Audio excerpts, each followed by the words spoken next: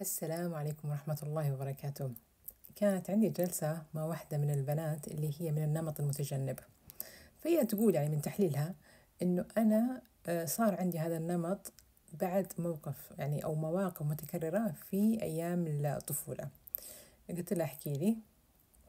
قالت إنه يعني مثلا أبويا كان يعني يعصب كثير علينا. وموقف ردة فعل أختي كان دائما إنه يعني هي ترد له الكلمة بالكلمة. يعني الكلمة بالكلمة وزي كذا. فلما كنا مثلا تكون ندخل في غرفتنا يصير أنا منهارة جدا إنه يعني كيف صرخوا على بعض وزي كذا وحزينة وخايفة ومرعوبة. وبينما هي تظهر إنها مش فارقة معها. وتضحك وتعمل حركات إنها كأنها مش فارقة معها إنه أبوها عصب أصلا. آه، عارفة؟ وكذا زي اللي مبسوطة. والأخت الثالثة عندهم أخت ثالثة تلوم ال- الأخت اللي كانت ردة فعلها قوية. تقول لها أنت ليش تسوي لنا كذا مشاكل دائما مع أبويا؟ وخلاص اسكتي وأنت ليش يعني تجنبي مشاكل معه فتقول أنا كنت يعني أقول لها أنت شلون كذا؟ كيف أنت مثلا يعني مش حزينة ولا مش خايفة ولا كذا؟ قالت لا والله أختها الكبيرة قالت لها لا والله مش ما حخلي أي شيء يأثر على مزاجي. أنا إنسانة قوية و... وما حخلي أي شيء يخرب مزاجي. تقعد تضحك وتعمل نفسها أنها مش فارقة معها. فقالت من ذاك الموقف حسيت كأنه تعلمت من أختي الكبيرة إنه القوة إن الإنسان ما يظهر مشاعره ومهما صار يخلي يعني نفسه دائما قوي. وتعلمت من أختي الثانية إنه تجنب مشاكل أو تجنب المواجهة هو أفضل حل أيضا عشان ما تصير مشاكل. فسبحان الله يعني تحليلها عجبني صراحة يعني إنه واو كيف إنها يعني وصلت لجذر المشكلة نوعا ما. آه، مع ان أنا اللي اعرفه إنه النمط المتجنب هذا يعني يطلع الانسان لما يكون طفل صغير صغير جدا يعني رضيع حتى. ولكن لو قلنا هذا الموقف هذا فالمهم يعني أنا ليش حبيت أذكر لكم هذا الشيء؟ لأنه سبحان الله أحيانا تفسيرنا للمواقف تفسير خاطئ هو اللي يجعلنا نغير نمط حياتنا كلها على بعضها. قلت لها شوفي هذا الموقف اللي صار هو موقف طبيعي جدا جدا. قالت لي كيف يعني طبيعي؟ قلت لها شوفي بني آدم الجهاز العصبي حقه ينقسم إلى جهازين طيب؟ جهاز عصبي ودي يسمونه أو آه، سمبثاوي يسمى أيضا وجهاز عصبي آه، اللي هو ذاتي أو باراسمبثاوي معلش كلمات شوية هذا بس يعني كل واحد فيهم عنده وظيفة. بمعنى ال- الأولاني الودي هذا إذا حس في خطر مثلا أسد جاكي جايك أسد okay؟ نمر حيهاجمك. حيبدأ يعني يضخ فيك هرمونات معينة تعطيك قوة بمعنى أنه يزيد لك الدم آه، دفع اندفاع الدم في العضلات يوسع ال- ال- الشعيبات الهوائية بحيث تاخذين نفس أكثر. عارفة كيف؟ أنه كذا يعني يعمل حالة طوارئ. ويعني يخلي عضلاتي كلها تشد بمعنى إنه خلاص انت الآن جاهزة إنك تحاربي عارفة كيف؟ إنه يلا تعالي طقيهم هذول اللي بي بيعمل لك مشكلة أو إنه صارعي أو كذا. أو إنه مثلا يفعل الهرمونات بحيث إنك ته- تهربي. إنك تهربي كمان. يعني هذا كمان حيقوي تحتاجين تقوية في العضلات صح؟ فإما المواجهة أو الهروب أو الجمود. هذا كمان حالة ثالثة ممكن يصير لها الإنسان. اللي هو مش عارف كيف يسوي عارفة؟ وشفناها إحنا كثير يعني الناس مثلا يصابوا بصدمة معينة تلاقيهم خلاص جمدوا كذا يطالعوا فيك مش قادرين يستوعبوا إيش صار. فهذا الحالة الثالثة. فالناس تنقسم زي كذا يعني عادة يعني يميلون إلى واحد من هذه ال- الثلاثة. okay؟ لما يكونوا أمام ضغط معين نفسي كبير okay؟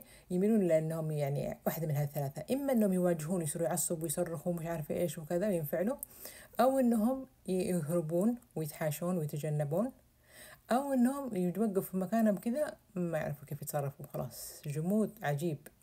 أوكي؟ فقلت لها شوفي أختك الكبيرة هي كانت هذا موقفها المواجهة. أنا أبوي يقول كلمة بقول له عشرة. ما راح أخلي حقي. فهي كانت تروح بكل جهدها بكل انفعالها على الأب. أختك الثانية كانت تقول لا خليني أهرب أتجنب. وانتي كنتي تظهري عاطفتك يعني إنه اللي هي البكاء والخوف وكذا وأنت أعتقد أنت طبيعية كنتي أصلا فيهم أو إنه التصرف العادي. لكن أنت بس أنت صنفتي إنه كان ضعف وإنه موقف أختك هذا كان موقف قوة.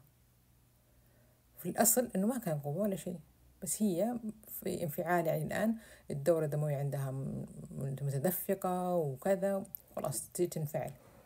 فالأصل إن الإنسان لما يصير معه هذا الشيء في هذا طبعا إحنا قلنا الجهاز الجهاز العصبي عنده الجهاز الباراسمبثاوي هذا اللي هو أو الذاتي اللي يجي بعد ما الهرمونات هذه كلها ضخت الدم عندك وأعطتك انفعال وزي كذا يجيك الجهاز الجهاز العصبي الذاتي ويهدي.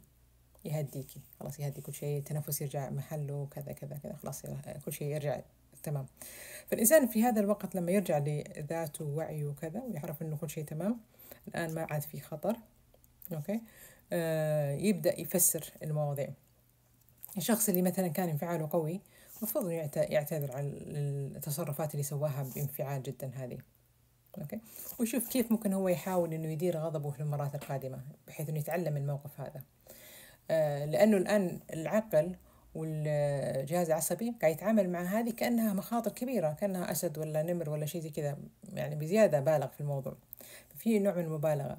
فهو يعتذر على هذا التصرف السيء ويحاول يشتغل على إنه كيف يتعامل ويدير مشاعره في المستقبل.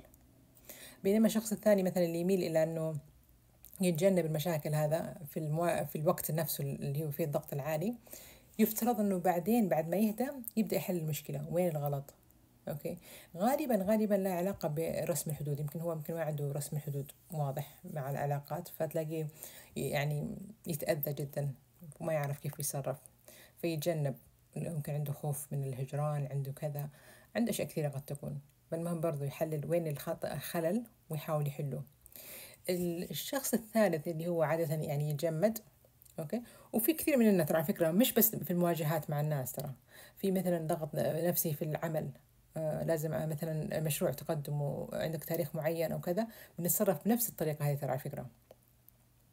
فهو الإنسان يشوف نفسه هو يميل إلى أي واحدة منهم أو إيش اللي حاصل معه الآن. هل أنا الآن مواجه عندي مواجهة عندي هروب عندي عندي جمود. ويحاول يتعامل مع نفسه بهذه الطريقة فهمت علي؟ آه أيضا فهذا يحل مثلا برضو إذا كانت مثلا حدود إذا كان ممكن مع العلاقة الخطأ يمكن هو في مكان الخطأ لأنه استمرارية تدفق الدم هذا شديد والأعراض هذه كلها اللي بيعملها الجهاز العصبي السمبثاوي هذا مع الوقت ممكن تجيب أمراض مزمنة زي ارتفاع ضغط الدم مش عارفة انسداد الشرايين وكثير يعني عارف كيف فهي مش يفترض إنه الإنسان يكون دائما في هذه الحالة من الضغط النفسي العالي جدا. okay؟ لكن يكون يعني okay مرات مرات لما تجي شيء طبيعي كلنا حنمر فيها ونحس فيها. بس المهم نفهم إيش اللي قاعد يحصل في في جسمنا وكيف ممكن نتعامل معاه بطريقة يعني كويسة. نحتوي الجسم هذا وكذا. لأنه سبحان الله في النهاية هي آلية للجسم إنه يدافع عن نفسه صح ولا لا؟ فهي حاجة جميلة وحاجة نعمة كبيرة. كذا كنا علينا حارس من أنفسنا يعني. إنه لو في خطر كيف نواجه الخطر هذا؟ وبس لما يتعامل مع الإنسان بطريقة صحيحة يعني إن شاء الله بإذن الله يكسب كثير في حياته. وما يحاول يفسر الأشياء إنه والله هذا شخص قاعد يضحك الحين معناته إنه هو إنسان قوي. يعني عارف التفسيرات العامة هذه إنه هو هذا قوي وإنه هذا ضعيف وإنه مش عارف إيش. آه لا ما لها علاقة. ما لها علاقة سبحان الله. يلا أتمنى أن أكون استفدتم من هذا الفيديو إن شاء الله. السلام عليكم.